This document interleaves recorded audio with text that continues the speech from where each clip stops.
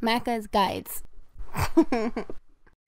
Hey guys, Macca here, and welcome to my in-depth walkthrough of Inferno 5. Now, I did something similar to this with uh, Trials Fusion, and that game had a track called Inferno 4, which was the hardest track in the game. This is the hardest extreme track in Trials Rising, and I was a little bit kind of surface level with my descriptions of all of the checkpoints when I originally made that video for how to get a gold medal on Inferno 4, so I figured based on the feedback, we're going to go a little bit more in depth with this one. Right now you're watching my replay of Inferno 5, and I can somewhat consistently get to the last checkpoint with about 10 or so faults. I'll show you how I do, how I tackle every single checkpoint, what I would recommend, and uh, some best practices, tips, and tricks in order to help you guys get through the track. Now, there are a lot of different techniques you'll need to learn, and for those, I would mostly recommend the University of Trials tutorials that are in the game. Uh, they'll teach you a lot of things, so if I do, if you feel like I'm skimming over something like, you know, I say something like land with an up on an uphill incline, and you don't know what that really means, you can try to either use the on-screen commands in the bottom left corner, or you'll be able to kind of go through some of those tutorials and learn the basics about a certain trick and then from there we will go on and I'll kind of talk about every single checkpoint individually. A lot of the checkpoints have more than one method in order to tackle them, so I'll make sure to also kind of talk about alternate strategies for for those who might not like a particular strategy and so on and so forth. So I, I figure let's just exit the replay and kind of get straight into the actual course. Alright, so the first thing is which bike do we use? And I struggled through this using the Mantis. It took me a while, but eventually I got the gold medal. And then I tried it with the Helium and realized that although the Helium is a little bit more difficult for most of the track, it makes the hardest obstacle 10 times easier. So I will be showing this tutorial on the Helium, as I think most people's bottlenecks will be at the last checkpoint and the helium makes the last checkpoint. You can do it almost every single time using the helium. Whereas on the Mantis, uh, the last checkpoint is a little bit kind of luck based, to say the least. Nonetheless, when we are in, this is kind of checkpoint zero, what we'll call. It might seem really, really hard, and it's actually uh, not something we're really taught much. But what we need to do is we need to do a left to get uh, seated, and then a right to get ourselves uh, over this first little lip so that we land on the second ramp short. And then we're going to do another left right to get grip on the second ramp and shoot ourselves up and forward. So basically the pattern is left, right, left, right. And that should allow us to kind of land short on the ramp and get enough distance to go past everything. It still can take a little bit of um, trial and error. And I would say this is actually, it, out of all the checkpoints, this one is the biggest difference from the Mantis to the Helium in the bad way. AKA, this checkpoint's actually a lot harder on the Helium than on the Mantis. But luckily, because it is the first checkpoint, even if you take forever doing it, uh, it doesn't really matter because it won't affect your, your best time. Additionally, once you do make it up to the kind of first ramp up here, you can actually just stop on it and uh, I'm actually really struggling here. Now, once you do make it on here, I would say you want to transition all the way across. However, with the helium, it is okay if you stop. I wouldn't recommend it. And then you just want to lean forward as you're coming off that ramp, making sure you have traction to get to checkpoint one. Now, on checkpoint one, on the Mantis, I would recommend that you try to stop on each one of these pipes like this and then lean back uh, in a seated position and then do a small bunny hop from pipe to pipe like so. And then you can kind of continue forward. However, with the helium, I think it is more consistent to do three back wheel taps. Although I would imagine now that I'm trying to show it, it's not as consistent. But nonetheless, in terms of not faulting on this one, I would definitely recommend uh, stopping on the pipes. And then the strategy once on the pipe is in a seated position, Get 60% of your bike to the left, 40% of your bike to the right of the center.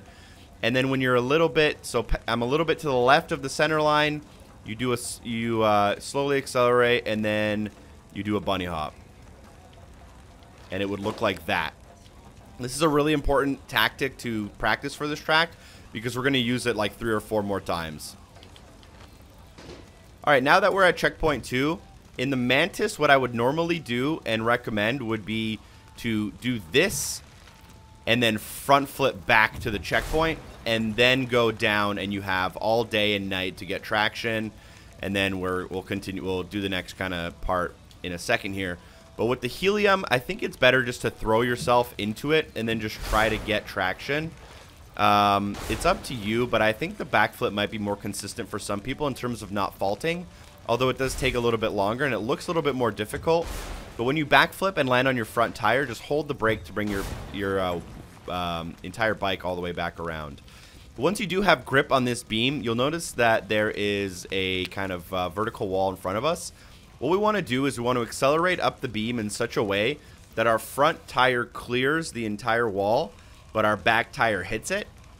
And the best way to do that is just to get to the bottom of the ramp, lean forward, and then fully accelerate up the ramp. I'm just trying to get it so you guys can really see what's going on. Um, so all the way at the bottom of the ramp and then fully accelerate all the way up. Let your back wheel hit first and that should bring you up and over. You might need to lean forward and brake to bring your entire bike over. Now, one thing I didn't mention here is on this, although I said to lean forward, you do have to let go of your lean at some point in order to let that front wheel kind of get a little bit of air. Do not bunny hop on this because if you bunny hop, you'll lose all your speed and momentum. So we let go of a little bit of lean, make sure that back wheel hits, and then brake and lean forward over here. Um, I actually didn't want to trigger the checkpoint, but I think that was more or less enough for that. For three, what I like to do is in a seated position from the checkpoint, I like to reverse and then fully gas it, landing on my back tire. Don't do a bunny hop or you'll end up way too far like that. If you do a, if you do a big bunny hop, you'll always end up too far. So what you want to do is you want to get like a decent amount of speed and then lean a little bit forward to get yourself a little bit of extra distance. And then you're going to want to land hard on your back tire at about like a 70 degree angle. And depending on how you hit it, you might need to do a small bunny hop like that to get yourself kind of up and over onto the pipe. And that's called a rear wheel bounce. There is a tutorial on how to do those more specifically. You will probably need to practice those quite a bit in general if you're looking to get better times and uh, more consistent extreme tracks. Um, but eventually you'll get over uh, onto checkpoint number four. Now, for checkpoint number four to five, you can kind of throw yourself... I'm going to end up um, bailing out of this if it does end up working, but you can throw yourself into here and then do a little bit of a backflip like that. It actually did end up working first time. I found that personally to be a little bit more inconsistent, and obviously inconsistencies are bad when going for gold medals. So what we're going to do instead is in a seated position, we're going to let our front tire go over. We're going to use our brake to kind of hook our back tire. And then once our back tire is hooked onto the platform, we're going to lean forward. And as we're leaning forward and almost upside down, we're going to let go of the brake but continue leaning forward in order to allow us to basically do a front flip. That sounds really complicated, but essentially um, it is not, even though I ended up failing it. It actually is a, a, lot harder, in my opinion, to do this checkpoint on the Helium than the Mantis. The Mantis is a lot easier, but you want to hook and then let go, and it'll bring you all the way back around. With a little bit of practice, that seems crazy hard, but it's really not. Checkpoint 5 to 6, I like to land at a medium distance to land on this pipe and then transition into this nook. Some people want to do it all in one shot, and it is possible, but it does involve a back wheel tap, which is a lot uh, harder to kind of manage and maintain, in my opinion. As you can see, that was a crash. So what we want to do is get onto this pipe, then get ourselves into this nook. While on the nook, you can actually completely rest in this crevice. You want to lean forward and have both of your traction on your tires. And what you'll see if you go up here is that there is a little bit of, um, you know, an obstacle there preventing us from just kind of riding up and going forward. So what we need to do for that obstacle is we need to accelerate up this ramp in such a way that our front wheel clears it, but that our back wheel hits it quite aggressively actually. So while leaning forward, you want to accelerate quite quickly, let go of your lean in such a way that your front wheel barely clears this obstacle and goes over it, but your back wheel hits it quite hard. That'll start That'll make it so that your front wheel lands on top of the obstacle, and then your back wheel and momentum will kind of carry into a front flip and bring you up and over. You can also do a flat method. So the flat method I'll show you once we're kind of up there. But if done correctly, hopefully it looks something like this. Almost. I'm not, you know, that, that's not the worst. It could be worse. Just a little bit more speed, more or less the same, and it'll look like that. Cool. So I'm not going to show that again because I think I explained it quite well. But at the very end, if you don't end up having enough momentum bringing you forward, you can do the flap. What the flap is, is when you're on your front wheel and only your front wheel, hold the accelerator or the throttle and tap on the brake and it'll basically bring your front wheel up to you. So it's kind of hard to see, but I'm bringing all that momentum is caused by, well, obviously I'm leaning forward, but if I'm holding the gas and braking, the the the physics is going to bring my back tire back up to me, and that can help you get out of a sometimes sticky situation. For checkpoint six, what we want to do is we want to do a pretty big bunny hop here to get over everything. Want to drop down and just just feather on the brakes as much as you can to try to slow down as much as possible. Uh, with the Mantis, you have to use your brakes. With the Helium, it has so much grip that you can actually accelerate a lot more easily by trying to accelerate up the ramp. Um, although that time it didn't work. So I would probably recommend just trying to uh, feather your brakes as much as possible and uh, land short to try to get, um, you know, as little speed as possible, but enough speed to clear the gap. If you are really crazy with this checkpoint, you can actually land so short that you can skip an entire section, but that's more of an advanced trick, so I'm not really going to show it. But hopefully it looks something like that, and then you just uh, go forward to checkpoint 7. Now, checkpoint 7, what you need to do is you need to do one bunny hop while you're aggressively hitting this ramp right here and that'll bring you up and over. Your natural inclination might be to like try to do this and then like, you know, like wheelie up it or something. That's not going to work. What you need to do is in a seated position, attack the the angle really hard while bunny hopping and it should bring you up and over. Like so, and then you want to make sure your front wheel hits first. You lean forward to get grip on both of your tires. Uh, you can watch the controls right here again. We want to hit it, and then we want to do uh, a lean back and a lean forward. And although I didn't really get enough distance there, that's more or less, that was the right strategy. now that I'm trying to show it for a you know third, fourth time, having some trouble. But once we're up here, perfect. Lean forward, both tires traction. You want a decent amount of speed for your back wheel to hit this white box and your front wheel to go over it. Lean forward to bring your momentum, and then you want to do switch from your front wheel to your back wheel and do a bunny hop. It sounds really complicated, but it's actually not as hard as it looks. And it should look something like that. I'm not going to show it twice, but it, it all happens really, really quickly. Now, checkpoint 8. I'm actually going to pause it just to make sure we don't run out of time. Checkpoint 8 is a, a checkpoint I spent personally over 100 faults on on my first attempt through Inferno. And it isn't really actually that hard, but it does only really have like one very specific method to get through it. And what we need to do for that method is on the porta potty in a seated position, make it so that your back tire is almost on the very left of where like the white roof meets the end. So right around like here. And what we need to do is we need to slowly accelerate from here while doing a massive bunny hop or else we won't get enough height and distance. If done correctly, it should look something like this, hopefully. Again, slowly accelerate, and a big bunny hop. There we go. And again, for this, it's the same thing.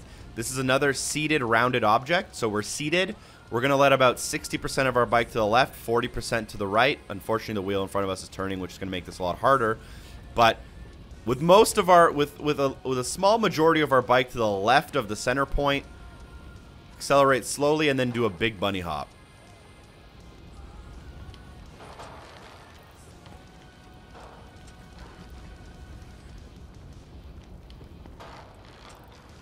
And with this obstacle, because the tire does rotate, it can be a little bit more difficult. And if you do screw it up, it kind of wants you to retry the entire checkpoint if you screw it up, unfortunately. So that kind of makes it a little bit more difficult. But if done, you know, all quickly in rapid succession, you should be able to kind of grip your way through it with the helium like so. For checkpoint 9 to 10, Uh, this is a checkpoint way easier on the helium, so congratulations if you decided to use the helium. Do a back wheel bounce on this, land, and then just get your traction. On the Mantis, it has so many, like, so much suspension on it. It makes the game really difficult, actually. Um, but you just want to do a back wheel tap and then gain your grip, landing on an uphill incline.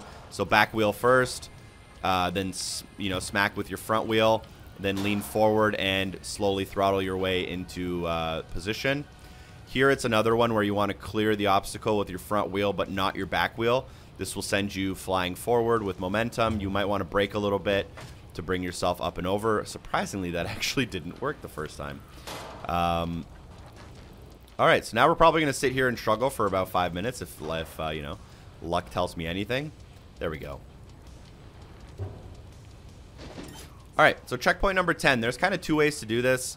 There's the cheese way, which involves a fender grab. For those who are unfamiliar with the fender grab, basically, if there's a corner obstacle like this corner up here, and if you wedge that corner between your back tire and your seat, you can kind of grab onto it upside down that can help you in an obstacle like this. It's very hard to do it on purpose sometimes. So let's see if we can fender grab on purpose here. Oh, we did. Wow. Okay, so that's a fender grab. If you end up kind of overshooting the obstacle, this is an easy way to get out of it. Uh, all I would have done was continue rotating my tire, and then right as I kind of cleared the edge, I would have used my brake to flip myself back forward. But if you want to do this obstacle legitimately, you want to basically get onto here, and then in, in transition, you don't want to stop on here. You want to get it so that, again, your front wheel clears the edge, but your back wheel doesn't. And then as you're halfway through that, you want to brake to bring your front wheel forward. So it's going to be a little bit hard, not in transition, but hopefully it works. Almost, pretty much like that. It's just if I had a little bit more speed, it would have brought me up and over a little bit more. So basically that was it, and then you just go forward. From that obstacle, you can clear it all the way to like the next obstacle in one shot, but I'm not going to show you how. Um, you can figure it out if you want to speed run. Number 11 to 12, you'll see this beam. It is a physics beam. As we hit it, it will start rotating. What you want to do is you want to hit the beam short, so you want to hit it like right there, you know, like right at where it starts. And you want to hit it with a medium amount of up and down. So if you hit it too lightly, it won't cause the physics of the beam like to move enough, and you'll probably go too low. Whereas if you go really hard on the beam, it can often be very hard to get. Like you'll end up just going up and not forward. So you want to hit the beam with like a medium amount of height, and uh, and also land pretty short. And then you want to land on your back tire, and you want to gain all your traction, lean forward, and push to the next uh, checkpoint. This checkpoint, I would say, is actually significantly harder with the helium as well, but not too hard. Alright.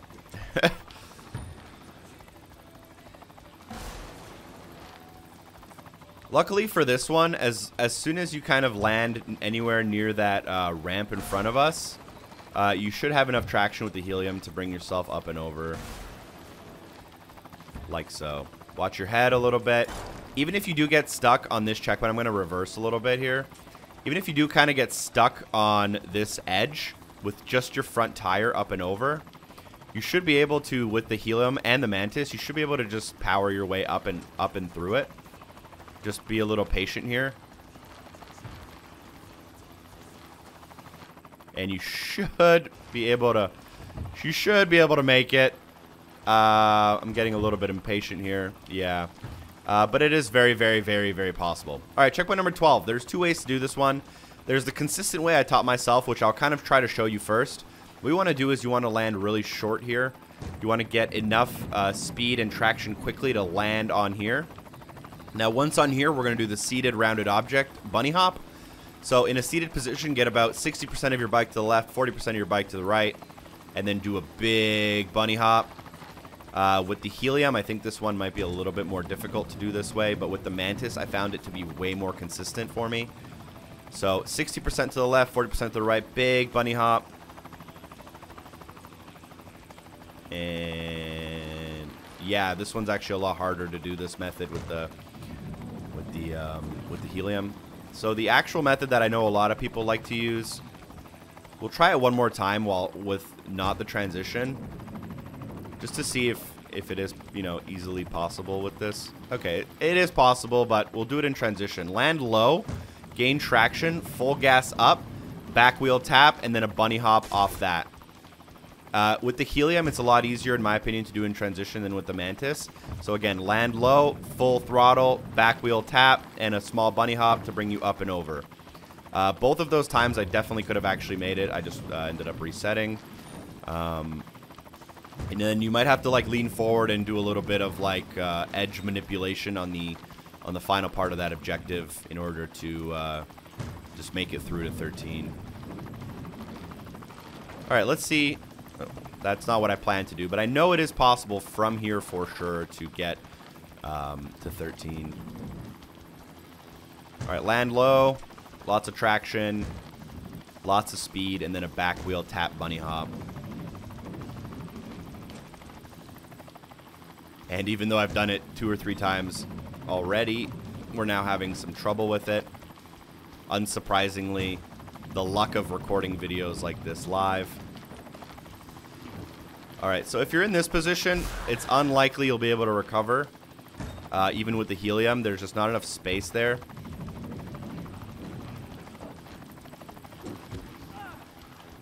And then all we have left after this is checkpoint 13, which is either the easiest or the hardest checkpoint based on what bike you have.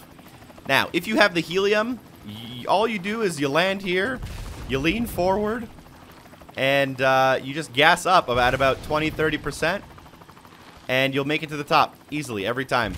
Uh, no questions asked. Um, I just I'm trying to make it so that I can time my voice with my uh, action here. Anyways, we'll land here, lean forward, and then we'll throttle up. And uh, pretty much just slowly increase or decrease your throttle, and then you should be able to lean forward and you're, you're done. And this strategy is pretty much 100% consistent with the helium every time you try it. Um, lean forward, about 20-30% throttle. You'll slowly climb your way up near the top. Lean forward and brake in order to bring your back tire up and over and then just adjust.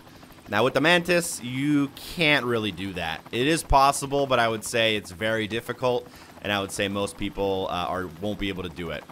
What the actual strategy for this is supposed to be, and in my opinion, this is a very luck-based obstacle, so even if you do get it down, I don't know how consistent you can get it. I do know for a fact that a lot of the people with zero faults in the leaderboards for this obstacle they just got so good at the track that they kept doing it until they were able to get a zero fault run. Personally, I did my first gold medal run was 27 faults. I spent 21 or 22 of them right here. Um, what you're supposed to do is kind of bunny hop, land in like a little bit of a wheelie, and then power up. And you're supposed to uh, use a lot of your throttle at the bottom and then ease off of your throttle near the top. With the helium, this doesn't really matter because the, the bike has so much grip. And even if you do kind of get stuck, like I was about to get stuck there on the edge, you can always save you can save yourself quite easily with the helium, whereas you can't really with the mantis. Um, you basically just want to land in a really strong wheelie and then lean forward and throttle up, letting go of your throttle as you make your way to the top. With that was actually useful for the purposes of this video. I ended up bailing out on purpose, but with the Mantis, you will end up having to uh, fender grab the edge like I just showed pretty often just because of how easily the front wheel comes off of the edge. So the way vertical edges work in uh, trials is if you are accelerating up them slowly, you'll keep your grip. But if I increase my acceleration, my back wheel accelerates too fast for my front wheel to keep traction, and my front wheel comes off of the ramp, and then I essentially just start doing a backflip. And with the Mantis, if you're doing a backflip, a lot of the times you'll end up near the top of the ramp in almost a bit of a backflip position. And the only way you'll be able to do the checkpoint is by grabbing it with the fender grab we were talking about.